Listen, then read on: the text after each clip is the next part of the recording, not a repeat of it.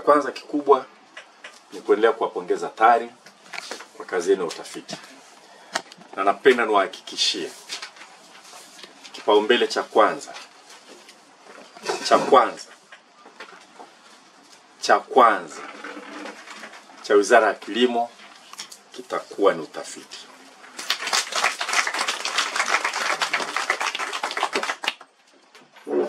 Na tutajitahidi isiwe ni kauli mbiu, iwe ni kipaumbele kwa vitendo, kwa resources, kwa uwezeshaji na kwa heshima tutakayowapa. Na hii sio kwa TARI tu take eh, ile nyingine to, to, torito eh, ina hilo eh, eh, ya chai inaitwaje? Na hata wanaofanya utafiti profesa kwenye chuo chako Sokoine, University of Dar es Salaam, wote wanaohusika na utafiti wa kilimo, swala la utafiti litakuwa namba moja, na tutahakikisha tutahakikisha linajionyesha kwenye budget. Tumechinja chinja hela huku na kule, tumepeleka katika maeneo ambayo tunaamini ni vipaumbele, pamoja na ceiling kubaki vile vile, lakini tumefanya huku kati chinja huku chinja huku chinja huku, kuna maeneo ya vipaumbele ambayo tunataka kutekeleza. Na nyie ni watafiti, kwa hiyo mnajua kuliko hata mimi umuhimu wa utafiti katika kilimo, mnafahamu. Lakini narudia, hakuna nchi iliyoweza kuhimili mabadiliko ya kilimo ambayo yameweza kupelekea modernization of the economy bila utafiti. nan hakuna, hakuna. Na sisi tunahitaji tufanye utafiti ili tujue namna bora ya kuendesha kilimo katika nchi yetu na hali tulionayo kwa namna ambayo italeta tija. Na tija ni kila kitu kwenye kilimo, kwenye maendeleo ya viwanda, ni kila kitu. Na tija sasa, Kiswahili tunasema tija, lakini unaweza ukatafsiri kwa Kiingereza kwamba ni productivity. Unaweza ukatafsiri vile vile kama ni ni yield yield na productivity vitu viwili tofauti, vinafanana kwa sababu yield ni kiasi unachokipata katika eneo unalolima, si ndio? Maanake katika eka moja unavuna una, una, kiasi gani, kuongeza kiasi ambacho tunavuna katika eka moja. Productivity unapata kiasi gani kwa juhudi zote unazopeleka katika uzalishaji. Hiyo ni pamoja na gharama za pembejeo eh, gharama za umwagiliaji, nguvu kazi eneo la ardhi ambalo sisi wachumi tunaita na opportunity cost. Usipolima maharage pengine ungelima kitu kingine. Vyote ukivichukua vile unatengeneza unit, unatengeneza aina ya index, alafu unaangalia ile unit inakuzalishia kiasi gani, ndio productivity. Kwa hivyo vitu vile kidogo vina slight difference. In the long run inabidi tuangalie sana productivity. Kwa sababu bei ya pembejeo ni kubwa. Kwa huwezi tu kusema kwamba napata kiasi gani kwa eka, unataka kujua kwamba na juhudi zote unazoweka kule, mbolea, viuatilifu na vya vya vya viuatilifu viua tilifu. Kwa hiyo vyote hivyo tunavyoingiza kule lazima tuvi, tuvitilie maana. Kwa hiyo na, na kwa hiyo kwenye kilimo sisi changamoto yetu kubwa kwa kweli ni tija ndogo, ni tija ndogo e, na, na, na vipimo vyake viwili nimesema, nitasema nitasema tena. Moja, unaweza ukaangalia tu kwenye pato la taifa, unapokuwa theluthi mbili ya nguvu kazi inazalisha theluthi moja tu ya national income, ina maana tija ni ndogo sana uzalishaji wa mtu mmoja mmoja ni mdogo sana. Watu, watu unagawa watu wote ukachukua theluthi mbili ya wale watu, alafu anachokizalisha ni theluthi moja tu ya kile kinachozalishwa nchi nzima. Maana hali ndogo mbaya sana katika uzalishaji. Ni kweli mchango wa kilimo kwenye pato la taifa tunavyozidi kuendelea as a percentage unapungua, lakini maana yake unatarajia na nguvu kazi ambayo inakwenda kule ipungue kwa kasi zaidi. Yaani usihitaji nguvu kazi nyingi kuzalisha unachozalisha. Maendeleo yanavyokwenda, contribution of agricultural sector in the national economy will have to decline. Hai problem kwamba ina decline huku, lakini nguvu kazi iko pale pale. Kwa tija ndogo, na ndio kielelezo cha umaskini tunachokiona katika maeneo yetu hasa vijijini, na tunashindwa kuendeleza hata viwanda kwa sababu tija ni ndogo. Na tutapeni mfano miwili, na nyinyi ndio tayari mmeniambia. Kwa hiyo kama mkuniambia takwimu sahihi, hali yenu mbaya, kwa sababu natembea na karatasi ya hatari kila mahali, sijawahi kuiacha. Unaikumbuka karatasi? Eh, naikumbuka. Eh.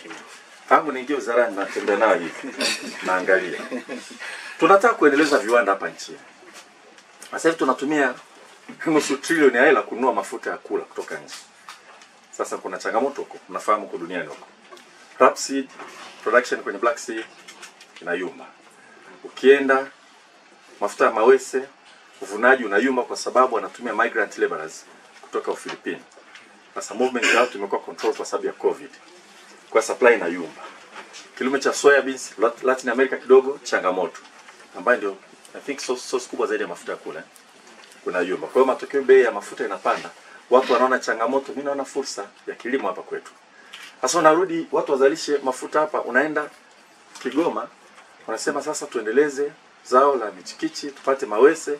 Unaambiwa sisi kwa hekta moja tunapata mafuta 1.6 ton kwa hekta moja. Hili nalirudia kila mahali. Sali kwa hapo. Lakini kula Malaysia, Indonesia kwa hekta moja unapata tani kumi.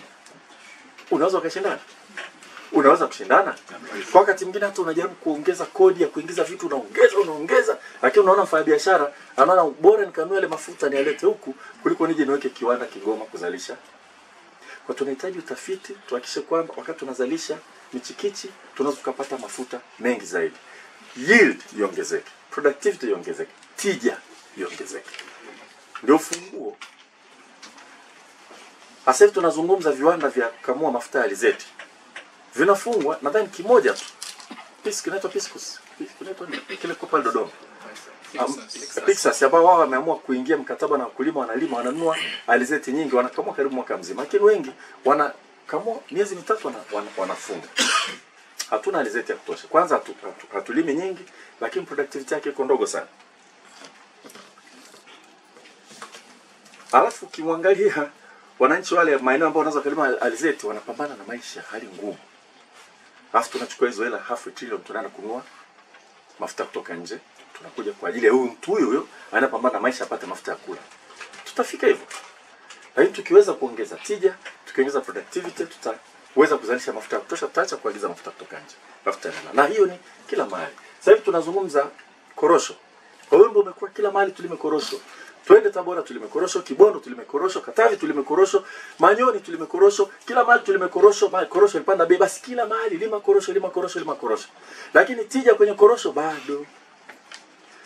Na utafiti uliotumika pale kuendeleza korosho baadaye tuli neglect kidogo. Yule mtafiti anaitwa Masawe kama sikosei. Si alienda West Africa kule. Mm. Ndio akawawezesha wakaanza kuzalisha korosho kwa wingi sana. Kwa sisi tukawa utafiti kama tukawa tunaona ni mzigo tukaacha. Nikisoma hapa takwimu zako bwana. mm. Eh, sisi kwa hekta moja korosho tunapata 0.7 tonnage. Lakini kuna uwezo potential ni twice as much 1.4 tonnage per hekta moja. Kwa hiyo before we go for extensive expansion you can do intensive expansion. We can do that. Lakini you can only do that through research. Nyinyi ndio mnaweza mkatuambia tufanye nini? Mbegu gani tutumie? Kilimo bora agronomy, population ya plant katika eneo iendeje, spacing iendeje, si ndio? Mm. Hata viuatilifu hivyo vipi vinaweza vikafanya kazi, mbolea gani inaweza kufanya kazi vizuri, hiyo tutaipata kutoka kwa tafiti, na brain zilizoko humu ndani ni the best, I have no doubt about it. Zipo. Huyo. Mmoja wapo, the best. Zipo, ni hapa ni the best. Sasa kazi yetu ni kuzitumia, kuziharness, zitusaidie kwenda kwenye mabadiliko. Kwa hiyo ukienda tu kwenye productivity ya kila kitu, mahindi tulikuwa tunaongea kwenye bodi, mjumbe mmoja wa bodi akatuambia South Africa eka moja wanapata gunia 40 za mahindi, eka moja. Mimi nasema ndani ameniambia ili kama eh, usinipige mawe. Tanzania pale Songwe anasema eka moja gunia 12. Asisemio wanapata gunia saba, gunia kumi. Sasa chukua mahindi peleka Kongo pale Lubumbashi. Wanataka kununua mahindi. Anakuja mtu kutoka South Africa na umbali wote ule, ana mahindi anaweza akachukua half the price in the market akauza na akatengeneza faida. Wewe unakwenda pale unalalamika bei mbaya. the key to agricultural transformation and industrial transformation in our country ni kwamba tuweze kuwa na situation ambayo mazao yanaweza kashuka sana bei, lakini kipato cha mkulima kikawa kinaongezeka sana. Na niwaambie industrial industrialization gharama yake moja ni labor force, nyingine ni raw material, sasa nyingine ndio nishati na kila kitu.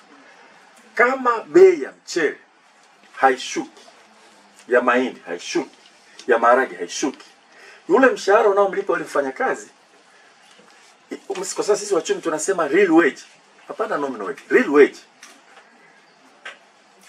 Real wage ni unaweza kununua nini kwenye hela unazopata. Kwa hiyo ukisikia mzee wako alikuwa analipwa sijui shilingi 15 mwaka 1961 na wewe unalipwa milioni mbili, inawezekana kwa real wage yeye alikuwa na mshahara mkubwa zaidi, kwa sababu alikuwa anaweza kununua vitu vingi zaidi kuliko sisi. Kwa real wage ni unaweza kununua nini?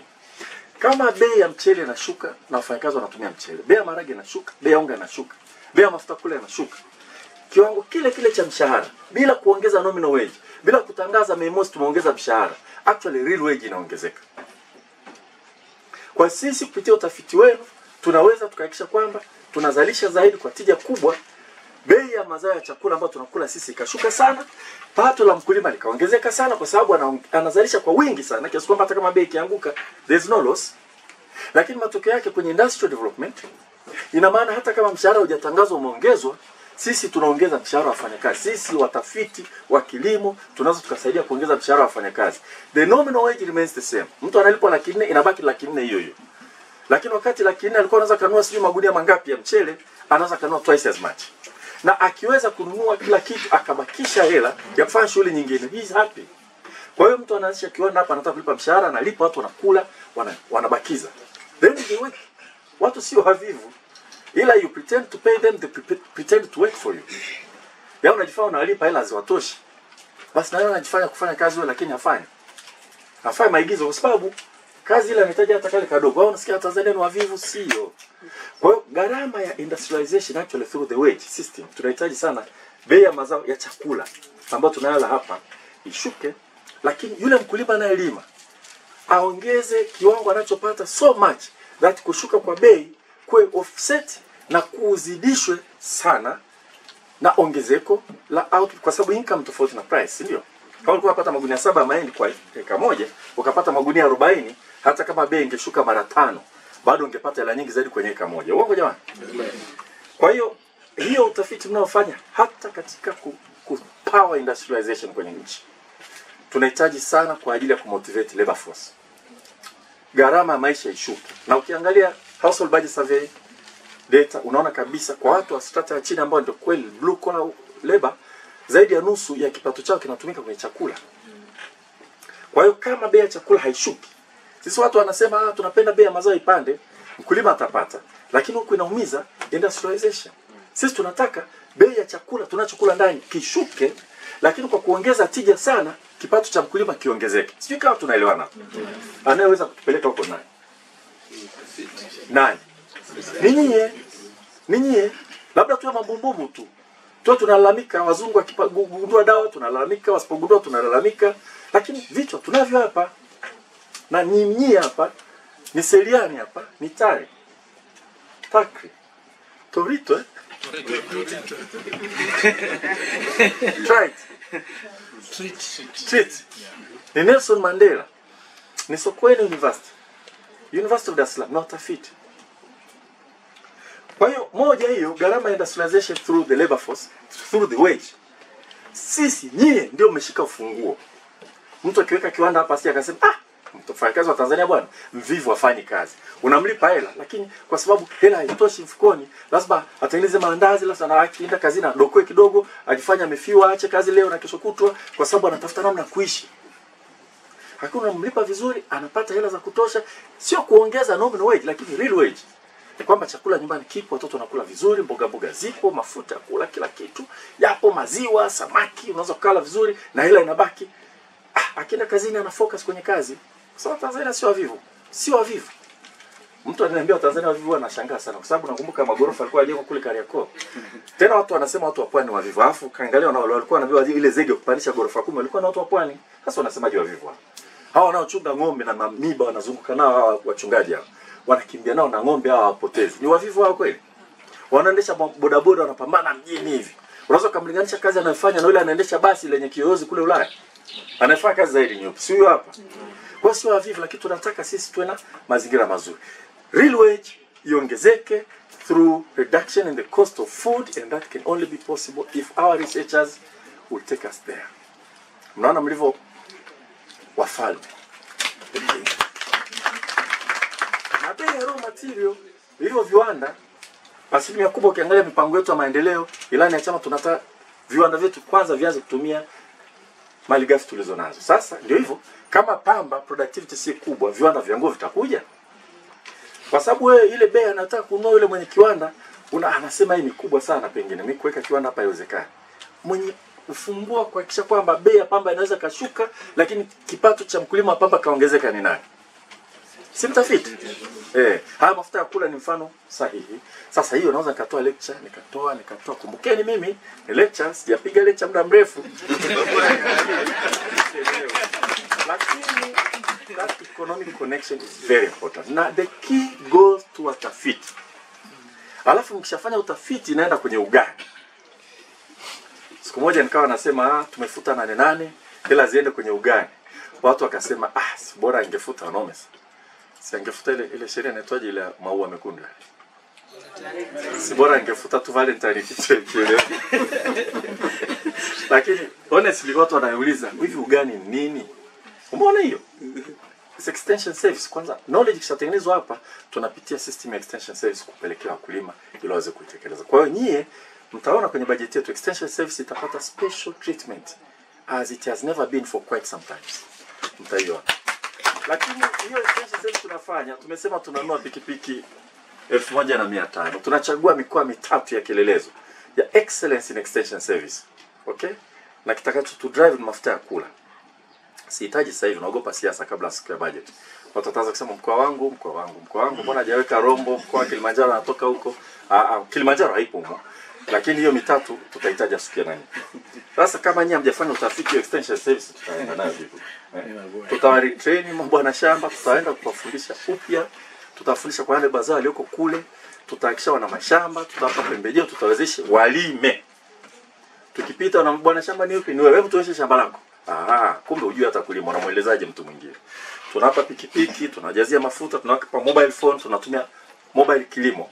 Ni app yetu maalum ya kumonitor. Kila siku kutembelea wakulima ukishaongea nao unaandika ripoti kwenye app unaandika na jina la mkulima ulimtembelea namba yake ya simu.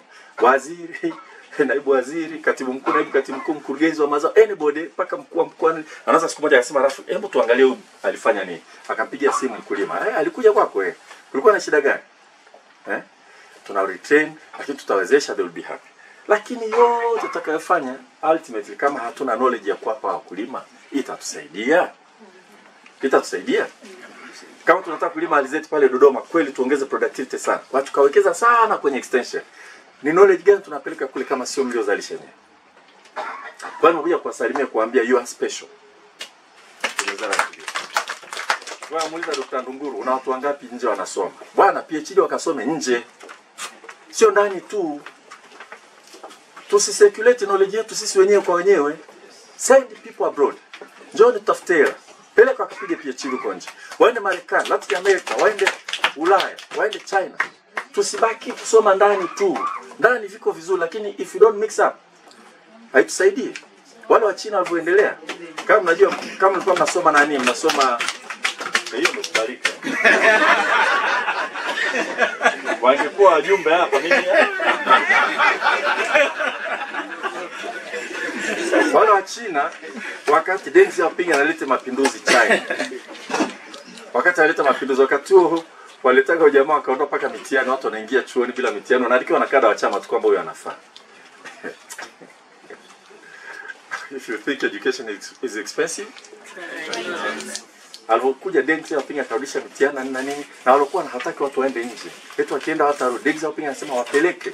Hey wasiporudi wakae huko huko watabaki ni wa China huko watabaki ni Wachina, hawataacha ndugu zao mabinamu zao wakitaka kuoa wanakuja huku sasa siku moja nafanya ziara Marekani nakutana na Jimmy Carter Katiwa. Jimmy Carter anambia bwana, usingeruhusu Wachina wengi wanafunzi waje hapa, akasema nikuletee ngapi? Milioni kumi. Ah, jamaa kashtuka.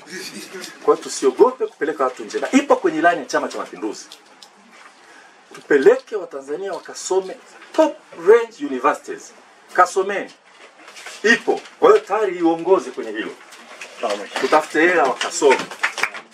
Eh, kuna PhD nyingi bado hazitoshi, wafanye utafiti na kila anayefanya utafiti anagundua kitu to celebrate achievement yake. Sawa jamani? To celebrate. Leo tulikuwa Minjingu. Tunazungumza mbolea iko pale. Tunahitaji atakaye kusaidia ile mbolea ndio dominate hapa. Si nyie. Marisecha. Nyie ndio nyie ndio kwa uzalendo wenu mtakusaidia. Nani mwingine? Mimi nitajuaje bwana? Ndio mtaambie mbolea inafaa. Sasa kwani tunaagiza kutoka nje wakati inafaa? Lazima nimuulize mwana. Alafu akitaka kuambia anakuambia mam- mambo mengi wanakuwekea ile organic chemistry ile ya kukubali. Na wewe acha hiyo organic chemistry. Niambie kirahisi inafaa haifaa hii. Hayo mashina kwa substandard haya tuachie. Kwa kweli ndio salamu zangu. Watafiti Wizara ya Kilimo, chapeni kazi. Hata kama sasa hivi hatuwezi kufanya chochote, mjue heshima yenu kwangu ni kubwa kuliko mnavyojua. Na tutafute projects. Eh, kuna budget tutaongeza, tunaanza mfuko wa utafiti, si ndio? Ndio. Tunaanza mfuko wa utafiti. Eh, tuhakikishe mtu anafanya utafiti anakuwa mzuri sana, anahangaika, anakaa laboratory, anafanya kazi kidogo, afu anatoka, anapanda daladala, anapata shida, anaamka asubuhi, ah ah, humu humu humu humu, tumtafutie namna ya kuishi. Njoo leteni kanuni tuziangalie, ni nini tunaweza kubadilisha. Mshahara mimi sina mamlaka nayo, lakini hata haya mambo mengine mengine eh, eti yatanishinda tena jamani, na mimi mchumi. Hilo ndio salamu zangu, lakini nawaombeni naombeni sasa mtusaidie kufungua milango. Nimepewa taarifa ile mliofanya kule eh, yale manani mchikichi. mesema ile moja inaitwa jiwe, nyingine inaitwa bubu. Mme cross pollinate mkapata hote au? Unaona, nakumbuka kichwani eh, ni kazi ya nini? Ya research, utafiti. Sasa ngano alituambia Mheshimiwa Rais, alitangulia mbele za haki, lakini Mheshimiwa Rais, urais ni taasisi. Kwa anasema ametuagiza Rais wa Jamhuri ya Muungano wa Tanzania tuelekee kujitegemea kwenye ngano. Sasa mnataka kumwangusha? Mnataka kumwangusha Mheshimiwa Samia Suluhu Hassan? tunataka kumwangusha? Kina mama, mbona tunataka kumwangusha? Ah, kina baba mnanuna eh? Kina baba mnataka kumwangusha? Basi kwa kweli kazi tunawakabidhi nyie. Mna vichwa bora, you have the best brain, you have the best capabilities. You are special. Help us, take us through. That's the only way. Na sayansi. wanasayansi. Umesikia bwana? Waheshimiwe, tuwape heshima. Ndunguru, tunahitaji tuone wanasayansi wanajisikia kwamba ni wanasayansi. Mwanasayansi mzuri hawezi kuvaa vizuri akapendeza. Kuvaa vizuri na kushangaa si dogo. eh? Unasahau kuchana nywele wakati mwingine. Kuna watu wananiambia wewe sio profesa bwana, mbona unachana nywele? Kaambia mimi mwana sio profesa, mimi ni mwanasiasa, au sio? Lakini mwanasayansi anazama mpaka anajisahau, au uongo jamani? Anakaa maabara anasahau muda wa kuondoka. Niwatanieni kitu kidogo afu nimalize. Mlisikia? Nitawatania, nitawapa story mbili za wanasayansi. Isaac Newton, ile kichwa ile, anasema alikuwa anatumia muda mrefu sana kufikiri alafu hataki kupoteza muda. Siku moja anataka kuchemsha mayai, asikaweka mayai, anataka kuweka mayai kwenye stove, achukue na stopwatch ili akisha hapitilizi muda wa kuchemsha, ale ale mayai haraka. Basi ameshika hivi, mayai anachemka muda mrefu, tayari anaanza kufikiria force of gravity. Jamaa akaja akamwambia Newton, what are you doing? Anasema I'm boiling the egg and I'm checking the stopwatch. So no, you're boiling the stopwatch and you're holding the egg. Kwa sababu ya kufikiria mambo mengi, aliweka stopwatch kwenye maji, hapa ameshika yai hivi ana.